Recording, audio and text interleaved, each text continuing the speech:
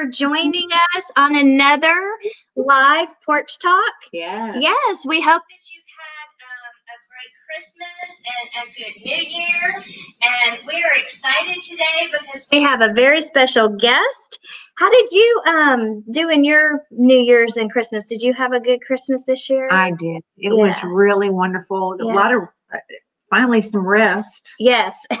oh, for you is a busy month. Yes. you know, Kim's a worship leader, so she gets called uh, to action. She's joining another many, many assignments, and so um, we are. We did have our time of rest, right? But we're ready for the new year, and God's got new assignments for us. And um, our last porch talk was amazing. We ended the year with Cheryl and um, the kids and her testimony of the children that she's adopted, and Daniel and Katie and Israel. So we thank them so much for being on.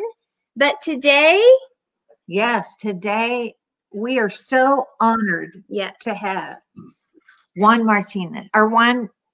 Yes. I'm Martina. Juan Martinez. Yes. I went. Yes. I went blank for a minute. I'm sorry. Good, good. Uh, yes, we are so excited about having Juan Martinez on this morning. And welcome to Porch Talk. Hey, let me tell you something, Kim and Danielle. I am so honored to be with you guys. Come on, I'm on Porch Talk. Yes, we're sporting you. We're sporting you. We got our sweatshirt. sweatshirts our get wrapped shirt. Come on, man. I love that. You know, the there's no place like home. I love what the sweater says, right? Because it's Yes.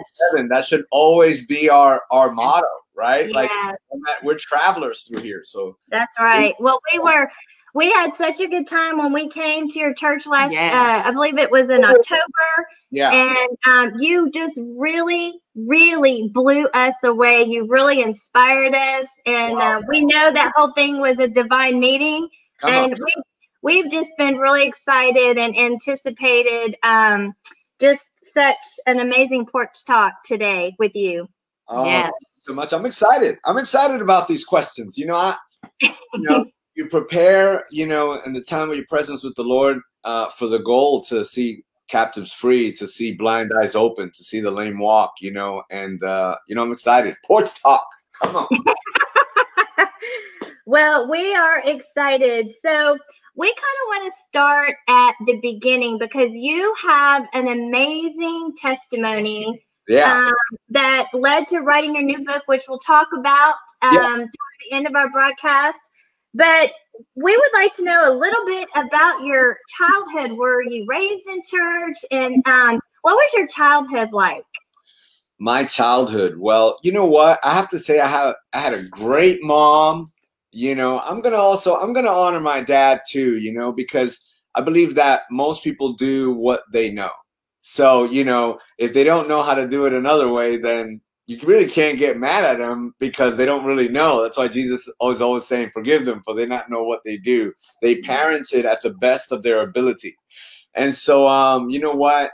As a child at a young age I I feel like i was a good kid but my dad and my mom they got a divorce when i was about eight years old. And i believe that that was uh, a determining factor in my life because um, I, I believe like a father like when you look at a heavenly father you know he doesn't crush your spirit but he breaks your will your desire. You know when i want to do this. He breaks that will.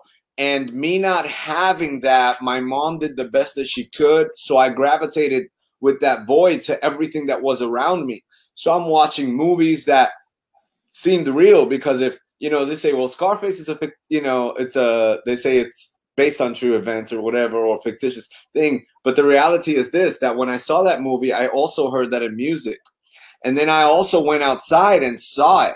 So that was the truth for me. That was real for me you know? And eventually as a kid my mom gets remarried years later and they you know her, my stepfather at the time who he passed away from cancer uh you know at a young age um, and he they opened up bars and all that and i just started gravitating to that scene at about the age of 13 I, I started uh, testing out drugs and all that. 14, I'm, I'm selling drugs already and everything. I'm selling to grown-ups. And I always tell people, what was crazier, uh, the young guy selling to the grown-ups or the grown-ups buying from the young guy? you, you know, it was just this wild road and it never stopped. I, I had a thirst of lust and nothing was ever enough. And I guess all my friends didn't, uh, well, some did have dads, but most of my friends didn't have dads either. So we were all a bunch of guys with voids who did not understand how to fulfill uh, a purpose plan, any of that. We just had dreams and we picked the dreams out of television and radio. Wow. Yeah. So, so were you uh, were you raised in church? Oh, absolutely. So here's the thing. You know, the Bible, I believe, has this theme that uh, obviously it's God trying to redeem His children uh, back to him, reconcile him back to the Father, right? But I feel like it also has this theme of have a relationship with me. Um, there's some who have a form that look like they have a relationship, and then there's the one who truly have a relationship. Well, at that moment, I don't even think I understood the word relationship, as most people, I believe, don't, um, because depending upon their atmospheres or what they've been through in life, um, they might have a distorted view of relationship. And so when you say have a relationship with Jesus, they don't really they have a relationship based upon the ideology of whatever it was that they think a relationship was. So for me, when I went to church, it was more about uh, it's gonna sound funny, but I, you know, I, I would go to church and it was like boom, check. I went to church with my mom and whom my dad really at that time at a young age, I remember her go in there and tell your dad to go to church. So he didn't really have a relationship and he didn't care. So somewhere in my subconscious, I probably thought, why should I care? You know, and so I would go check the box. I would get really excited about drinking a little bit of the wine. Maybe that should have been a sign of where I was headed and me. But um, that was it. It was more like I went to church. What a drag. Um, so I really didn't have a personal, intimate relationship with God. To me, God was far, far away. And I, you know, I joke around with people and I go, man, the day I got saved, God must have been so happy because broken record every single time I pray. So let's say something happened, I will go into the Our Father who are in heaven, hallowed be thy name. Thy kingdom come, thy will be done on earth, right? And Jesus, and then I wouldn't even say Jesus, I just say Amen, right? And then something else would happen. Our Father, right? So I never my dad. But I I always thought I was talking. Now that's my point about relationship. I always thought I was talking to my dad, right? Because I really didn't talk to my dad, if that makes any sense. So it always sounded the same. He's gonna pick me up every other week. Maybe, maybe not. I'm hoping he hears me. That's the, oh, when you look at that and you look at my relationship with the father, it's it was exactly the same. Think about yeah. it. And yeah. I thought this was relationship. That's kind of what I did with God, right? Yeah. Said the same things all the time. It was very repetitive. You know, it was like that was a relationship and then drop me off, right? And then I go about my life. But, so yeah, that was my picture of church life. Church church was just go there because it was like insurance, right? Like, you know, if there's a hell, I go to church. So I believe I was selling drugs for 23 years and I thought I was getting into heaven, you know? So showing you how off I was. Wow. I know when I was little, I used to make deals with God. Lord, if he if my parents don't find out, I'll say 10 Hail Marys and you know, say the rosary 10 times, you know. That's um, so what were the events that led up to your incarceration and then how many years were you incarcerated? Ooh, so I've done about 10 years of prison. Um, 10 years of prison. And what uh, now? About 10 years of prison. This last one was four, and I was facing 25. So, um, obviously, my sit, you know, I always tell people when I go to jails, I go, hey, here's the thing. If you I go, you think that when you're going to leave the door, you're going to be free.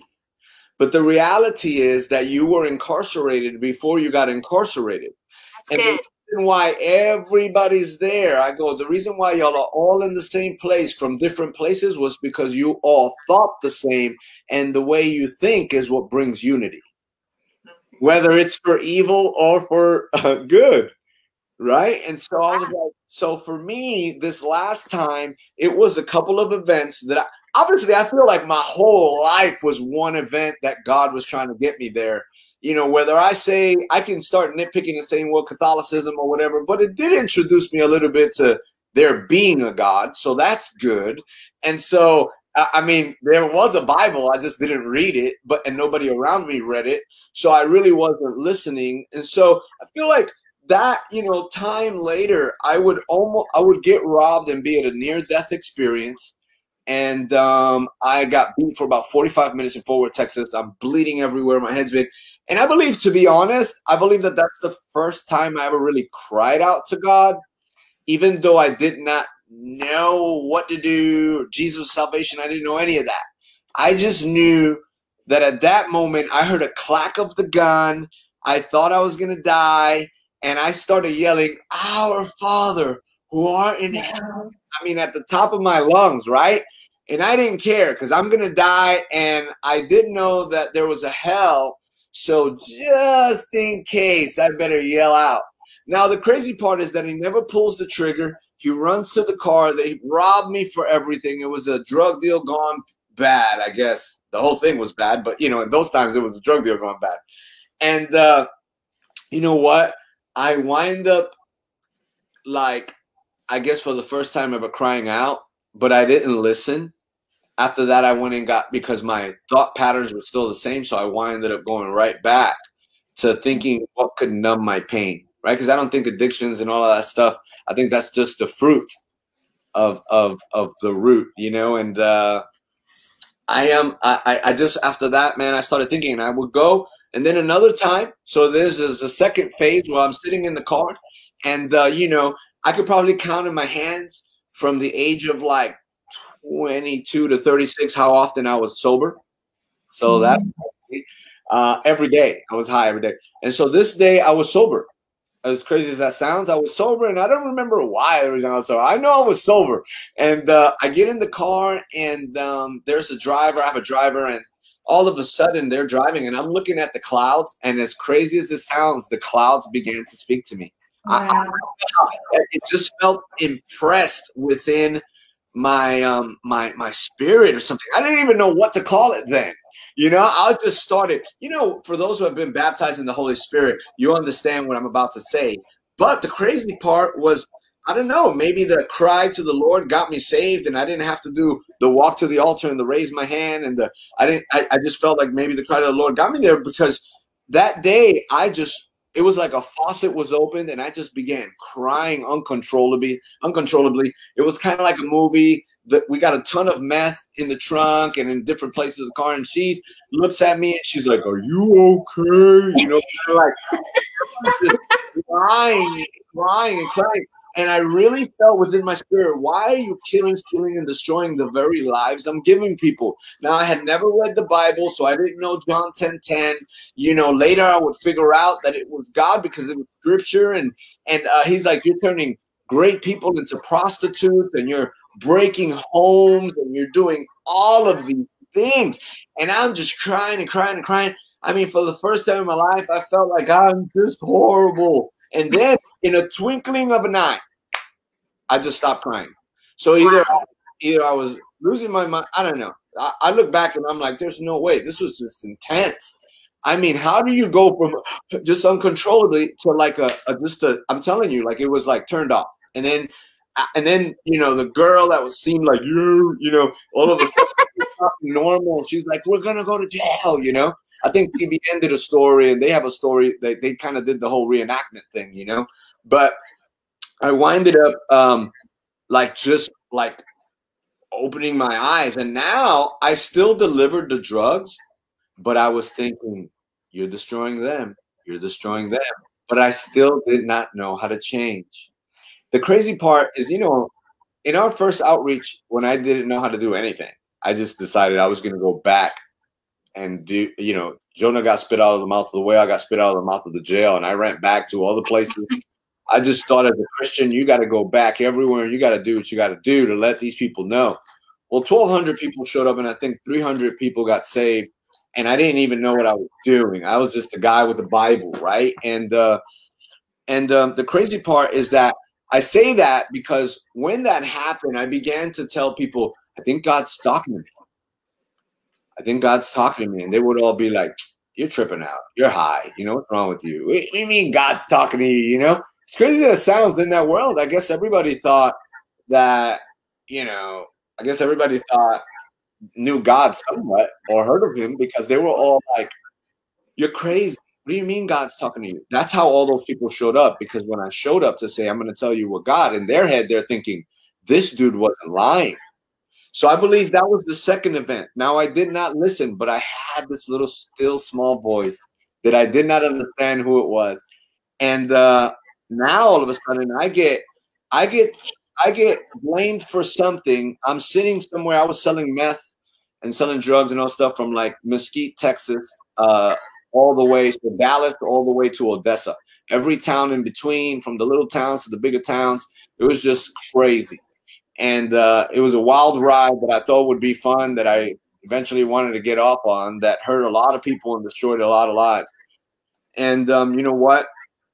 This final time, uh, this guy does a crime and they blame it on me. They all of a sudden, the, you know, it's kind of, you know, they know you when somehow they reach you in the hotel you're in somewhere else and it's the detectives and they're like hey we want to talk to you and i'm like i'm all the way in odessa how could i be in breckenridge texas doing that crime. And they're like okay they left they left it alone. I, eventually the fbi and all kinds of people uh, were sitting uh, it, it was crazy man. You know the car you see on the side of the road that's for sale? Okay that car that was there for like two weeks wound up in the front of that house that i was in and that was the fbi and i was thinking I'm like, wow, it was funny. If there was a hot dog guy vendor for two months there, that guy pulled out a badge. You know, everybody had a badge. I was like, wow.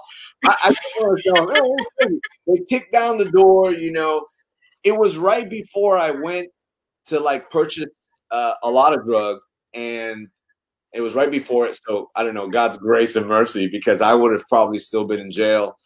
So I only had a few grams. So I got charged with over 250, uh, under 250 grams over four, and uh, I wind up going to jail for facing 25 years for an aggravated robbery I did not commit. But you know what that did to me? It dropped me to my knees and it made me think of all these other things that God was talking to me.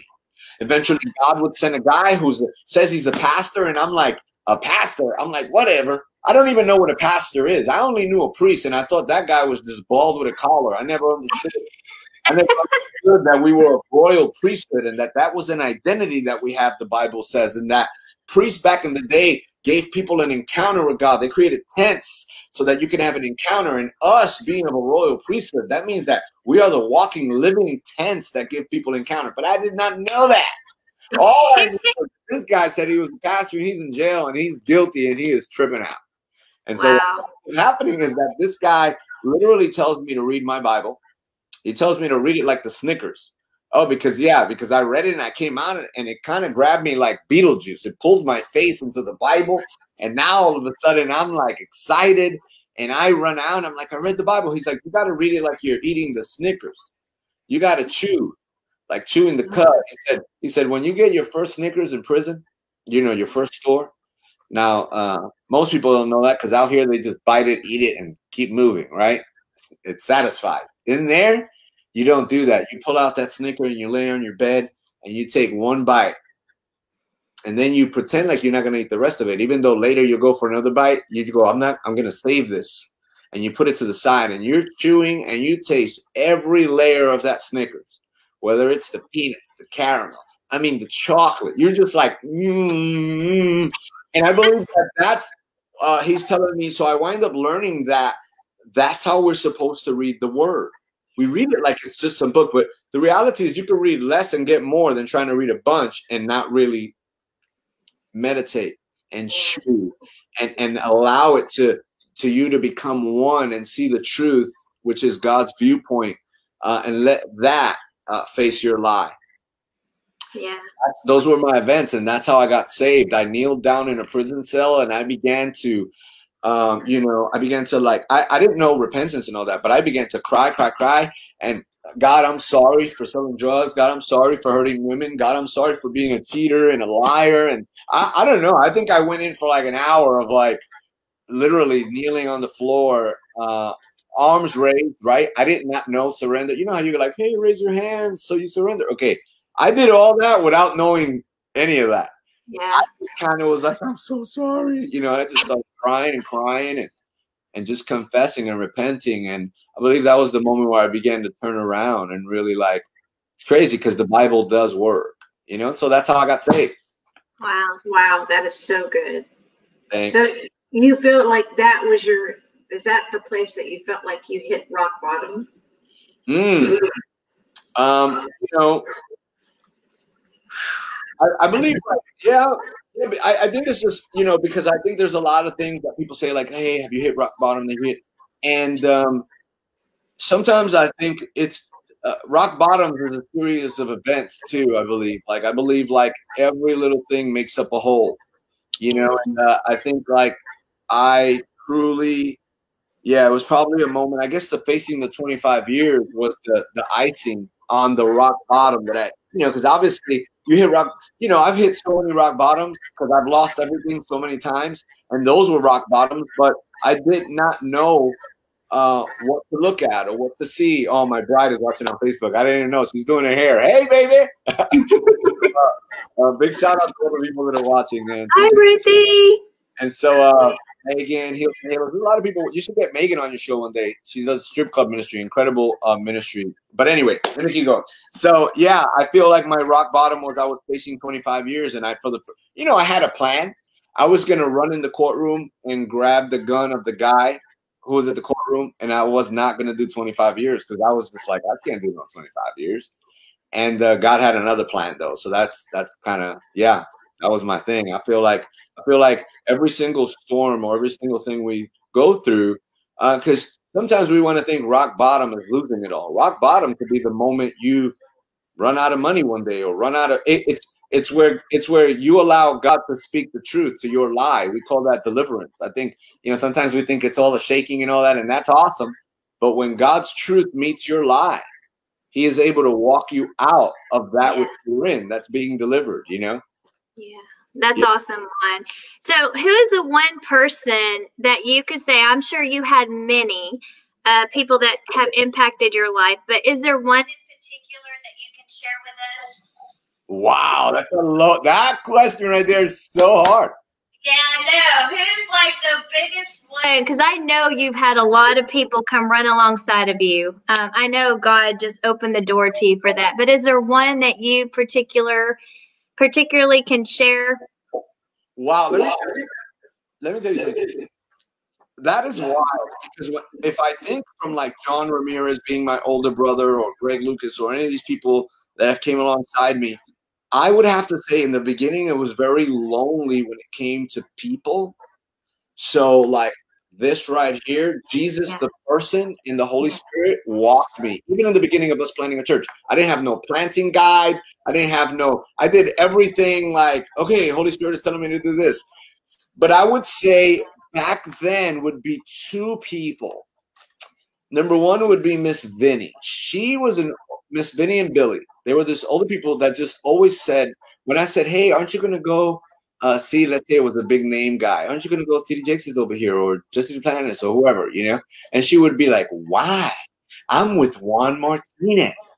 And she would make me feel like a million dollars. And she always believed in me. And this one, oh, I'm gonna cry.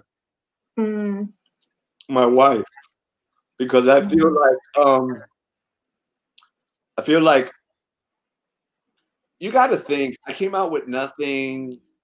I had a bad haircut, bad clothes, bad everything. I had nothing. Um, just the word. And man looks at outward appearance. So I know, even though she loves me, I know she was probably looking at me like sometimes, like I don't know, I don't know, I, I really don't know. Sometimes I'm like, why did this? And she always believed in me, and she always encouraged me, and she always, if I said, you know, I really feel like God's telling us to do this, it didn't matter how crazy I looked and how much I didn't have. She literally um, would follow. Wow. And, um, so you would think, preacher, no, like I, I, got so much from the Holy Spirit, but I needed a Ruthie and a helpmate uh, to really believe in me. Um, and uh, that to me is greater than having any other preacher on my side. Now I have had some great friends along the way, like John. You know, I always call him the older brother, and uh, you know, uh, Caleb Ring. You know, Robert Morris, the son, James Morris. You know, like there's all these people, uh, David Vestal, that God has brought in my life that are wise counsel and really help.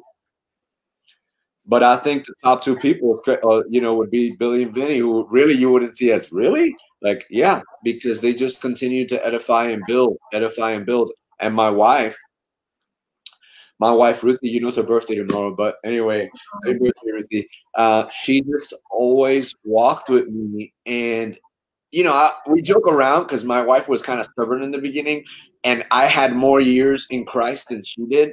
And so I kept washing her in the word, and I go, babe, you're like my greatest disciple. And sometimes you helped me because even though we've bumped heads, when I go, when we sit and I talk to her about the Bible, what it says, she just receives and she's just been awesome. And so, um, yeah, that's that'd be it. Like, you know, you would think I've met so many people. I've been in rooms with like TD Jakes, like, and I'm not saying all those teachers and ministers and people have helped, but the most powerful people in my life were the two I mentioned, and, and definitely my bride. Uh, wow. I, I say Vinny and Billy first because you know sometimes you just need somebody to believe in you. Yeah. Um, and and walk it out with you when you have nothing. Yeah uh, you know, I, I kind of Ruthie was my friend then, and so that's why I say she, they they played a vital role in the beginning. Uh, they always made me feel like I was somebody, and uh, it ma- it matched with what God was saying to me, and so I continued to walk it out. That's so, awesome. There's that. For the big cry, I went from gangster to cry, baby. That is so awesome. That's that is so incredible. Yeah. Thank you for sharing yes. that. And Ruthie, you are so amazing. Yes, we, we got just, a chance to meet you, and you're just an amazing, amazing woman. Yes. So, can you share with us a divine moment when the Lord uh, turned your head and you never looked back? A deep. Wow. It, it, it was after the cell. Like I, I had an encounter with I, I don't know like if if the, something came from the heavens at the speed of light and hit you and you know how fast the speed of light is it's like I, I forgot. I used to know it in in in you know it was like 150 something miles per second or something. And it hit you it knocked you to an you know if a car hits you it knock you across the street. But if something coming at the speed of light hits you that was light it would knock you into another atmosphere. And for me I felt like I feel like that moment was just I, I never looked back. Like I got saved and I I, I I don't know. I've just never looked back. It's just that was my defining moment. I've been running since and walking this out since then. I, I have never looked back. I I haven't you know felt in pornography, any of those things. You know, lust or drugs or drank again or I just kind of been going since it. I just believe, and of course, I mean, the word. You have to believe in the word. You have to truly believe. Um, and you have to, you know, sometimes people talk about, um, you know, I'm actually talking this week about true belief systems and false belief systems. And uh, I mentioned it a little bit in the book about projected lies, survival lies. And I feel like the truth sets you free, but you have to identify the lie. Because a lot of times we've picked up lies that have been developed for so long that we don't look at anymore and we forget because we think we're Christians, there's no change. You know, there's there, renewing the mind, you would have to identify some of the things that are false uh, that you've picked up. And sometimes that's the hard part because you've developed it for so many years that uh, you forget. And you think the truth that you embrace is the reality that you live, even if it's a lie. So you have to match that with God's viewpoint. Yeah. we have the cross. It's the cross is the exchange. So there's truth, God's viewpoint, and there's the things that you've picked up to know as true because maybe they were told to you by a person of authority or a mom and dad, and they didn't mean harm, but they didn't give you God's viewpoint. And you developed that, and then you became that. That's why he said you have to be born again because you have to unlearn and relearn yeah. mm. the rest of our lives. We yes. think, oh, well, I got older. I've got it off. No, there's things that you blind spot, little things that, oh, well, why am I upset like that? Or why do I act like that? You know, and, it, and you continue to work and God continues to weave this tapestry. Oh, it's beautiful. Mm-hmm. Yes, it is. He has definitely woven a beautiful one in your life for sure. Oh, thank you so much. Yes. Um, so share with us the point where you were called to preach. Like how did you know? Because you said that you know you didn't really have any mentors and you know you just kind of, God spoke to you which I, I love that. I love walking by faith and hearing from the spirit and just yeah. moving. And yeah. so can you share a little bit about that with us? Oh yeah. Big shout out to John Maxwell. He played a, a vital role. I kind of I'm on his you know I'm one of one of his teams and he developed later. You know he was one of the guys that kind of stuff kept developing my leadership you know? But anyway uh what was the question again? How did I what? Oh, how, how did, did I preach? Yeah, yeah. When did you know that you were called to move into preaching and yeah. yeah. So, so I didn't understand evangelism, pastoring, ministry, nothing. You got to really understand this. I just knew that what these guys did here was that they changed and they started telling everybody. So when I came out, Ruthie and this other person, Amber, they just always said, Well, let's go back to this place. And that's how we wound up in Breckenridge going back. And they always challenged me on going back. So I went and I just met somebody and, you know, kept all I was really doing was I was telling people, I once was blind and now I see. You know, I couldn't believe it. I couldn't walk and now I'm walking. You know, I and I don't understand how people don't when they get saved. But you know, it could be gifts and stuff has to get developed, and I understand all that uh, and so I I just continued going and sharing and talking and and and what winds up happening. This is crazy because God will hide things in the insignificant places. I need you to catch this because we're people who look at the outward appearance and we like big things and we like this and we like that and we forget that when He did a miracle with sharing uh, the the loaves and the fish, he hid it in an insignificant place. He hid it in a little brown paper bag in a little boy. Everybody might have been looking for restaurants and where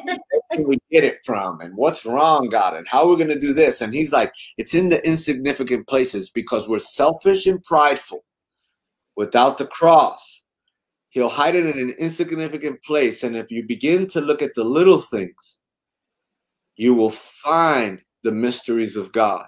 Mm-hmm. What winds up happening is he asked me and my wife, uh, they're having trouble in the live uh, Facebook, but um, here's the the the thing. He winds up telling me, uh, this guy asked me, "Hey, would you come in and uh, you know help translate?" And so I did that. And then one day he had an integrity issue with a Spanish pastor, and he asked me to do it. And I was like, what? I was like, ah, I can't do that. I'm, I'm thinking like, no, there's no way. I'm, and at that moment I have learned because everybody going, you're an evangelist, you're an evangelist, you're an evangelist. So I'm like, okay, I'm an evangelist, you know, because I guess I'm telling everybody about Jesus. And, uh, but I'm thinking like, I got saved. So I'm telling everybody about Jesus. You know, that's just normal. Everybody has the work of an evangelist, but I kind of, I'm an evangelist. So this guy's like, hey, I need you to pastor the Spanish church for me.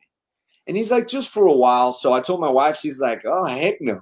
she's like, no way. She's like, I we I came to the American Jesus, even though I can speak Spanish well. I read my Bible in English. I sing all the English songs. So it was very difficult. My wife winds up praying and fasting. She comes and she's like, I think we're supposed to do it. And you know, the guy, I try to get out. I try to get out of it to be honest. And he was like, Look, we don't want you because you're able. We want you because you're faithful. You can make a faithful man able, but you can't make an able man faithful. That's good. And so I go, okay, fine. So I do it. You know that me taking the thing I did not want to do, God broke it. I gave thanks and it multiplied. Yeah. Mm. It was then that I realized I had a pastoral heart and that I really wanted to help people. And it launched me into my destiny. Most of us look at the way things are packaged and we miss the blessing. Yeah. That's awesome, Juan. I love that. I love that. I, you know, I, I know we have so many more questions we'd like to talk about, but I wanted to make sure we get Yes. time to talk about your book. Yes. I'm so excited. You guys, I'm just going to say this up front before we start talking about it. You've got to read it. It is so amazing. I love that. I And love so I just uh, um, want to know how did uh, Beyond the Yellow Brick Road come about? But I wanted to make sure we get Get what? You got it. you got it. So Okay. how did Beyond the Yellow Brick Road come about? Oh man.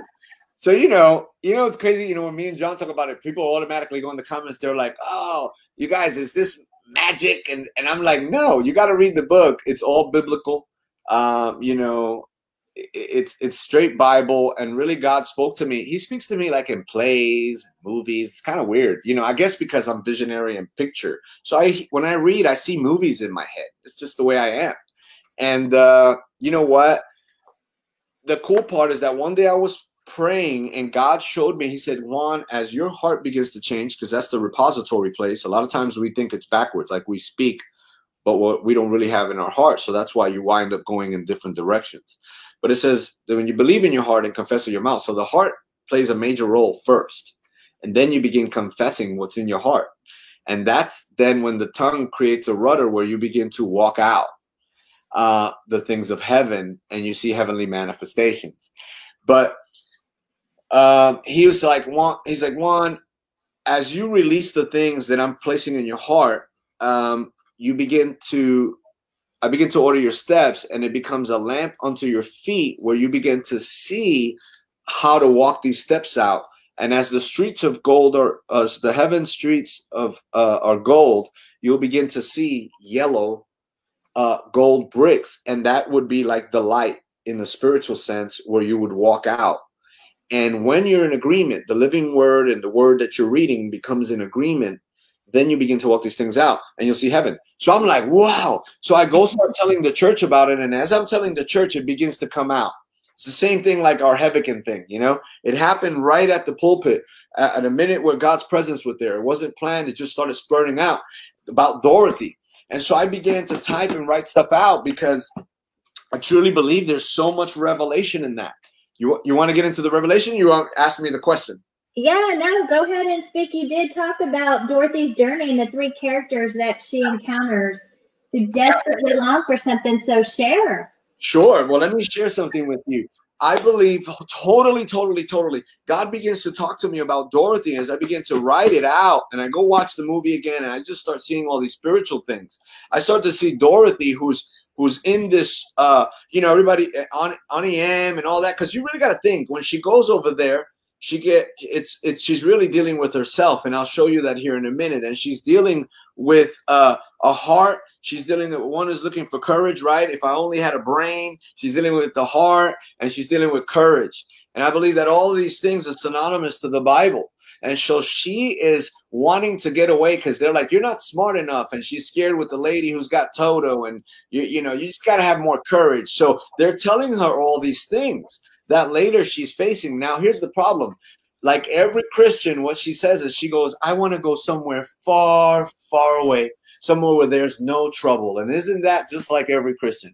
We, mm-hmm. we come to Jesus and it's like, God, you do it all, but please don't let me have any trouble. And I just want to get away from all this trouble.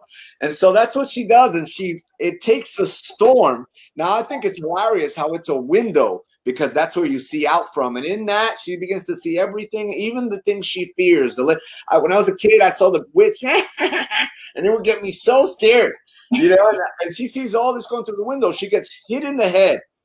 And I just saw that as the window where we see from. And usually the storm gives you an opportunity in your mind to either continue to stay in your patterns or respond to the word of God. And so she winds up going to this place.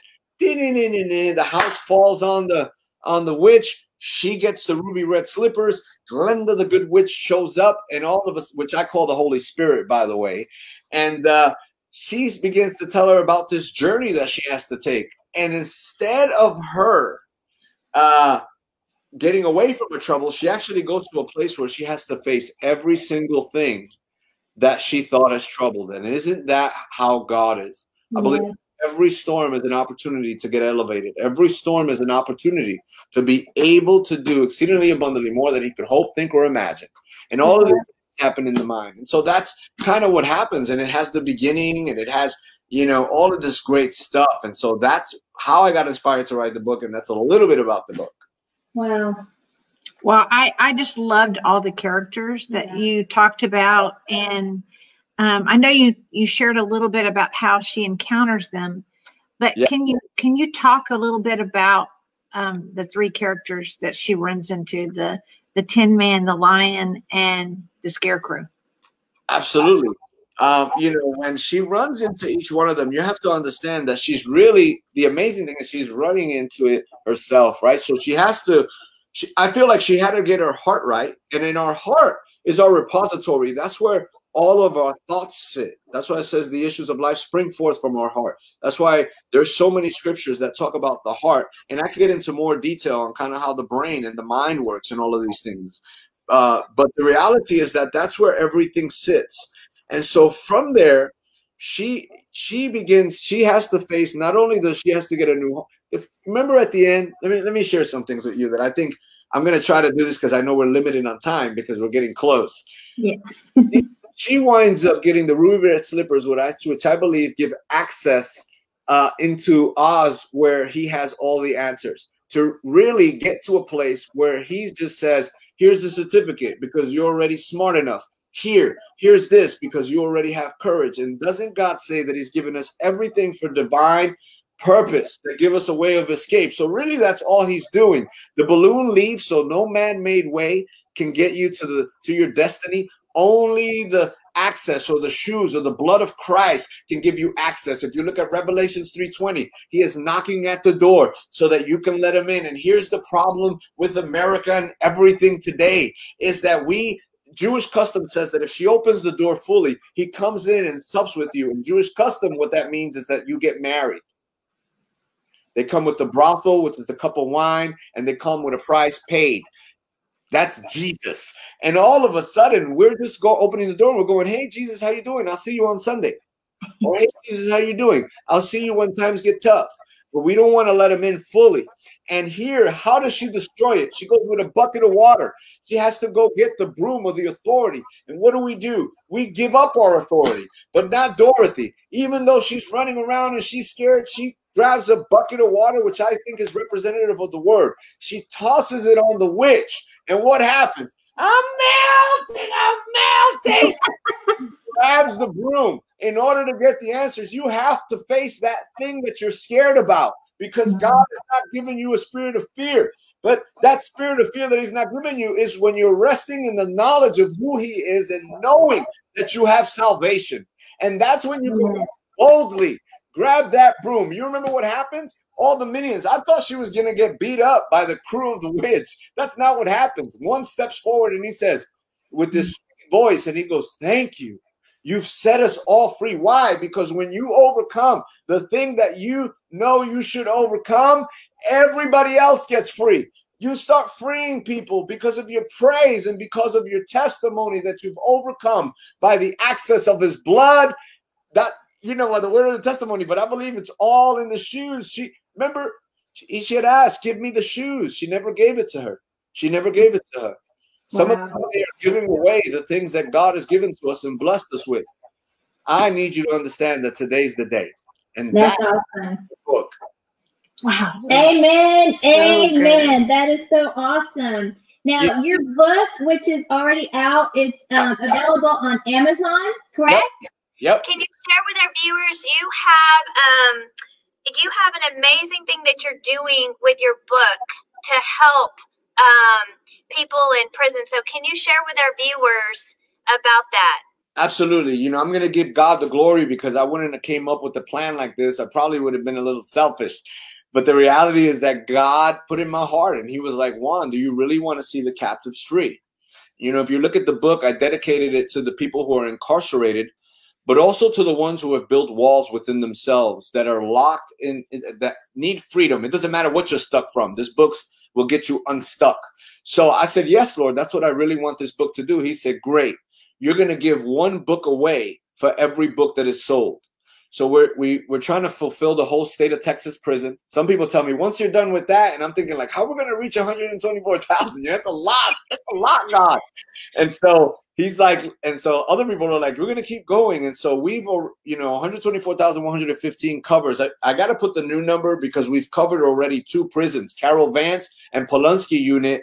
We they've all gotten books. Uh, even the guys at death row, they even played one of the sermons that I got to preach about the book to them. So I thought was awesome. All these guys are on death row listening to this. You know, I thought was awesome. We've given books to three men's home and one woman's home uh, who are drug addicted, and then we're going to give to Heels to Halo. We're just we just need people. This is the book that you buy. You get set free. You love it. It's a short read, so you get to just really eat of it. I think we're trying to come up with a, a leader, a small group book, or so that people could walk out the Yellow Brick Road.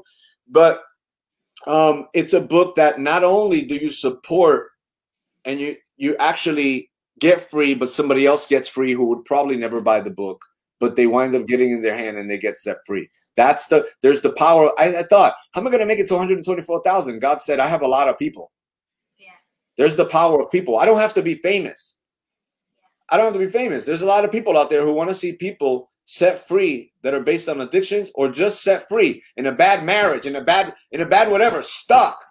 This will give you the answers to get you thinking on why you are the way you are and at the keys to unlock the promises of God. Wow, that's awesome. I'm going to share with everybody. This is Juan Martinez's book, uh, Beyond the Yellow Brick Road. is It's an amazing book. And like you said, it's a short read.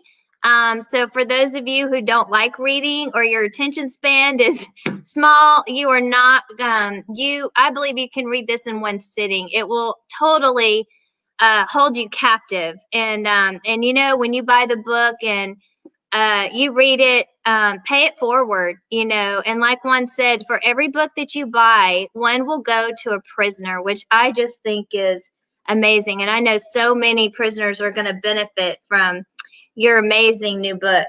Well, I sure do love. I love.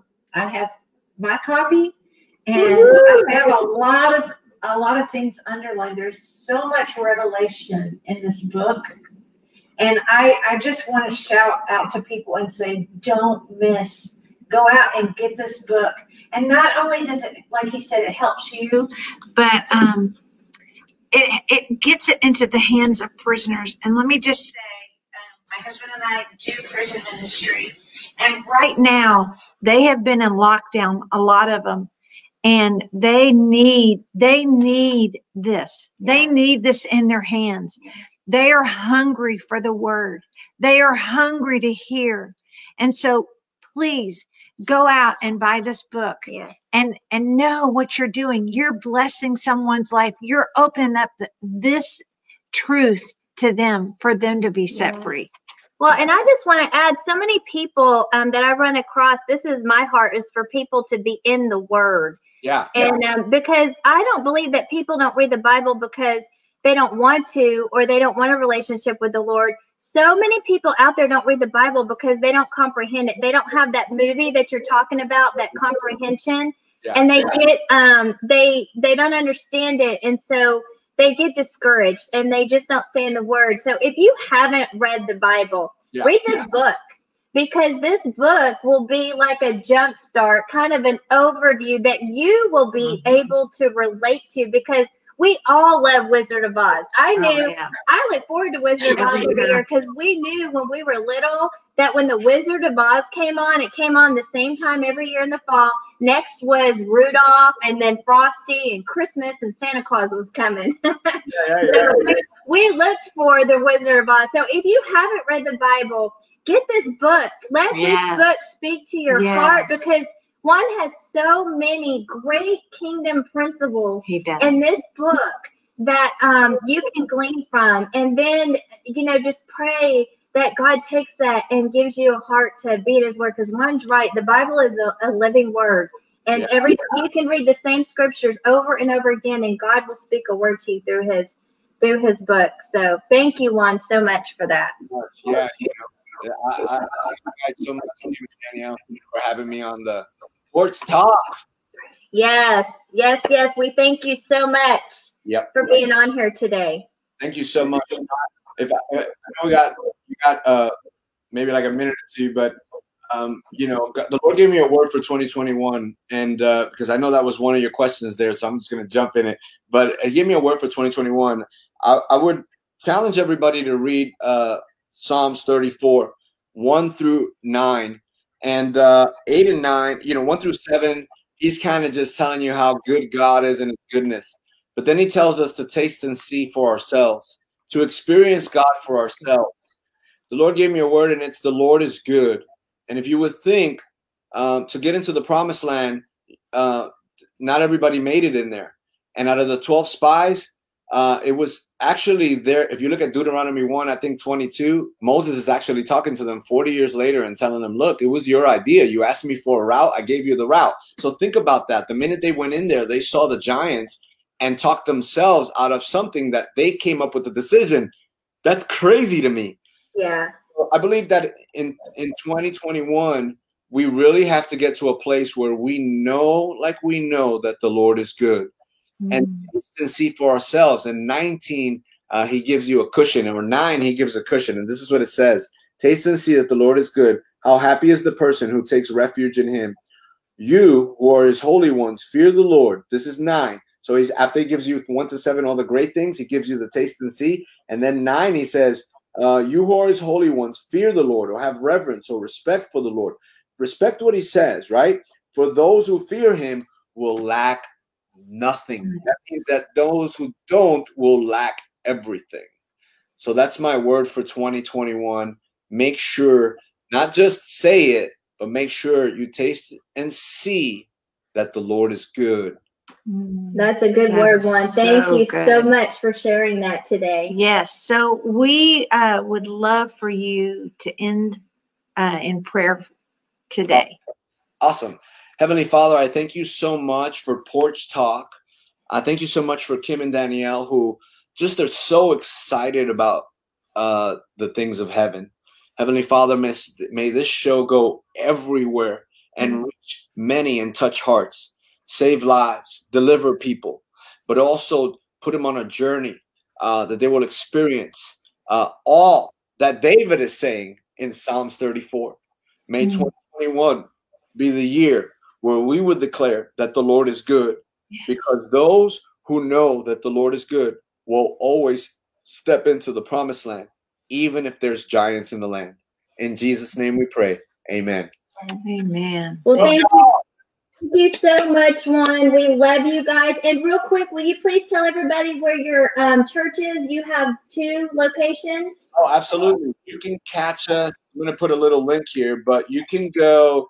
Um, we have one on the Spring Side North Campus uh, that's on Aldine Westfield. It's called Get Wrapped. G E T W R A P P E D Church. Get Wrapped Church in Spring, Texas. We also have one on the southeast side in case you live on the other side of Houston. Um, but you could also watch all our stuff live on Sundays at the Get Wrapped Church page or YouTube channel, or we have a free app called Get Wrapped TV. And so there it is. Thank you. That's awesome. That's awesome. Well, we're going to let you go before we give our final announcements. We know you're very busy what you're doing. We thank you so much for being on. Here today. Thanks. Thank you so All much.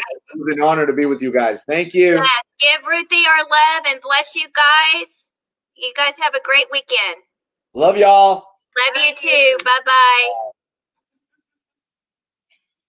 Wow, isn't that wasn't he amazing? Oh man, I tell you, I don't know about y'all, but I got excited for the zeal. I He has know. so much. I mean, he just pulls you in. Who could not get excited by li- just listening to Juan? I mean, and if you have a depressed day, replay this video. Yes. because- just hit play because I mean, you can definitely get encouraged. To, you Yeah. can just, he's been saved for quite a while now and doing what he's been doing, and you can still feel his passion and his, and you know, I believe that comes from staying in his word. We're just called to feed on the word to give us, um, uh, encouragement every day from the Lord to fill our minds up with His Word, so that way we don't live in fear and anxiety. So um, we're excited. We thank you guys that you tuned in today uh, to see Juan Martinez. And um, we are uh, next week, I believe you and I are on. Yes. Yes, next week. Yes. So we just want to know if you are listening out there and you have a ministry that you would like um, highlighted on the Porch Talk, we would love for you to email us at porchtalk at yahoo.com. And also, um, each week we will feature a different porch. So Kim and I, we could be sitting on your front porch. So if you have a porch you would like to share with us, maybe one that's um, I don't know. We had one uh, from ba- uh, Brad from God's Garage. He had a fire pit that was really that cool was- over the holidays. So if you have a porch that you would like us to sit on during our live broadcast, you can also email that photo to porchtalk at yahoo.com. And I also, if you like this video, if it has blessed you, then I, I ask that you sh- like and share the um, YouTube channel, War Room on Wheels. Like and share this broadcast um, to encourage and edify other people and share Juan Martinez and his book. And also, um, War Room on Wheels is doing a 30 30 30 day challenge. Uh, with COVID, there's been so much COVID chaos ever since COVID hit last March. And um, like me, I'm sure there's many of you who have been hibernating at home, who've been eating our way uh, through the the things on the media and the TV, and um, we're just consumed in fear and anxiety. And um, you know, as a life coach and fitness trainer, um, the career that I used to have, that's still in me. And it's time to get up and it's time to rise and it's time to get aligned and, you know, to get out of that cycle of depression um, and in out of hibernation, we need to get out and we need to move and we need to be in God's word. So I have a 30, 30, 30 day challenge. It's called Get Aligned. And we're going to be the 30, 30 consists of 30 days of workouts, 30 days of um, fasting and 30 days of scriptures to get in God's word. So if you're interested, it begins January the 15th through February 15th. So there's still time to show up and um, you will have access to all of this information, clean eating recipes and um, principles of clean eating and um, menus and meal plans and things like that. And then you can um, you can be following uh, Kim and I. We work out two days a week together, so you probably will see us working out together. She doesn't know this yet, but so we may be doing some live um, video broadcasting, working out. But we're going to do this together. So sign up today. Go to warroomonwheels.com and email me, and um, I will send you more information on that. She's always getting me into something without telling me. um, I just want to say this about fasting. yeah, Um, fasting doesn't always mean food. that's right. And when people hear fast, Yeah. they they just go, no, I can't do that. Yeah. Fasting can be anything. What is it that we take it before the Lord and we ask Him, what is it that we need to give up? That's got a hold on us. That's right. That's good. And so it, we have to we have to be willing to lay it down. We can give anything up for 30 days. Yeah. It's not a big deal. And I tell you, in that 30 days, if you will do, if you will lay that down for 30 days, it will lose the hold on you. Yes. And it will, once you lay that down, it will draw you into such a place with God that you will be so overtaken that you'll look back at th- day 31 and go, do I even want to pick that back up again? So I, I just wanted to share that when she was saying that. That was just really bubbling up in my spirit to say, do not let that word fast freak you out Yeah. Because it doesn't mean we have to. We grew, I know I grew up believing that fasting was you had to starve. Yeah. No. No, that's not it. Ask God what it is that He wants you to fast. And this is a time, you know, every every January Yeah. we come before the Lord Yeah. and we honor Him and we ask. I, I do. I ask the Lord, what is it that I need to lay down? What is it that you want me to fast, or Yeah. how you want me to fast this year? And He comes in, and I'm telling you. When you do, it takes you into a different place. I'm sorry, I got I got all excited. Well, I'm glad she brought that up because that's exactly true. This fasting is not food. The whole 30 days, every day is a different thing that you're going to be required to give up to get back your to get your life back in balance and get aligned. So it's things like and maybe one day you give up sodas and one day you give up TV and one day you um, give up something that uh, chocolate or something. Every day is a different day, and it's all. Uh, I know sweets and chocolate had a hold over me, you know, and and Coke Zeros. I had uh, there. I said it. Okay, I said it. and so when we're drinking mostly things like that and they have a hold and there's no balance, then that's something we need to lay down. So every day is a different fast and it challenges you. You know, it, it's it's called a 30 day challenge for a challenge. And so I'm challenging you to bring balance back into your life and get back in line because I know through this COVID a lot of things. We have um, we have left behind a lot of good habits and we have picked up a lot of bad habits. And this this month is the month to put that to a stop. So kim brought up an awesome point and that's exactly what we're going to do in this challenge in this fasting. So yeah. i'm ready for it and um, there's a private group created for those who want to join in and you're going to see me in the raw working out right along with you guys. So um, email War Room on Wheels mm, and Kim. Yeah. so um, it, will be an adventure for sure. Look, we're human too. We're flesh too, and there's things we have to bring into alignment. Um, Kim and I share that uh, all the time in our workouts and.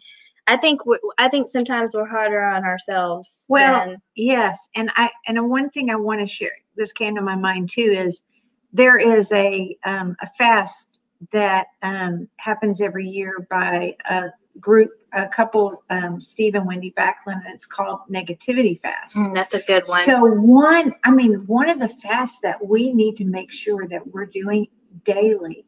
You know, this is. Um, I was, uh, I was listening to a teaching, just breaking down what the year. We're in a decade, the decade of the mouth, and the Jewish calendar. We're in the decade of the mouth and it's so important. The Bible says that, that blessing and curses, life and death, come, we have that that power of our tongue. Yes. It is so important that we watch what we say and what we speak. Yes. And so um, negativity is another thing where we can fast is that when we we start listening to what comes out of our mouth, yeah. I know I have to because I can I can all of a sudden yes. something happen and I'll be like, you know, I start listening, I'm like, oh, wait a minute. And I start reeling it back in, like, yeah. no, I, I don't want to do that. So that's that's just what fasting is. Yeah. And it doesn't have don't you don't have to be afraid of it. No. It can be a very positive thing. Yeah, that's awesome. I like the negative. Well, the power of life and death is in the tongue, yeah. like you said. And I, and sometimes we don't mean to say those things, but they're habits. They're bad habits. And like Kim was saying earlier, we need to um, retrain our brain with positive pathways. And to do that, we got to learn to speak. So we speak um, positive things. I, I saw I had this thing up here. So, um, oh, I don't have it after all. I was going to show you. But, anyways, we thank you guys for being on today. We love you guys. We thank you for your loyalty. And uh, we will see you next Friday live at 1030 on the Porch Talk. Bye-bye, guys. Bye.